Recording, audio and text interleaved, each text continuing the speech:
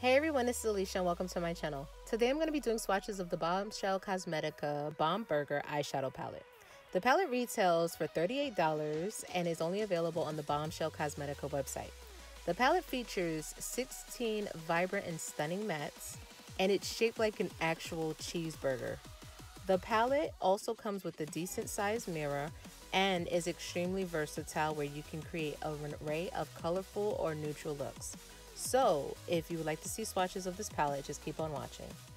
I'll be using my e.l.f. contour brush to do the swatches and I did not apply a base or a primer beforehand. Just so that this video isn't super long, I won't be doing any shade descriptions and I'll actually be giving you my thoughts on the palette as I'm swatching it.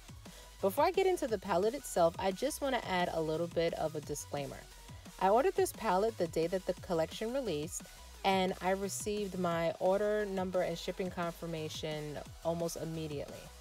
After that, it took an additional 18 days before the company actually sent my eyeshadow palette itself. Overall, it took just about a month for me to finally receive it. The customer service and the lack of communication was absolutely horrendous. And I just want to be completely honest and put that out there just in case you decide to order this palette. Moving along, I just wanted to mention that all the shades had really good pigmentation with quite a bit of fallout.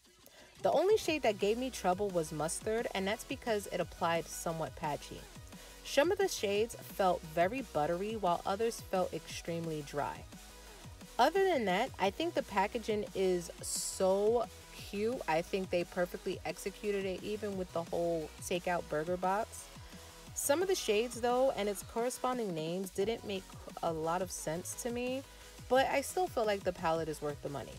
So if you enjoyed this video, please don't forget to like, comment, and subscribe and also turn on your notifications. And I hope to see you all soon. Bye.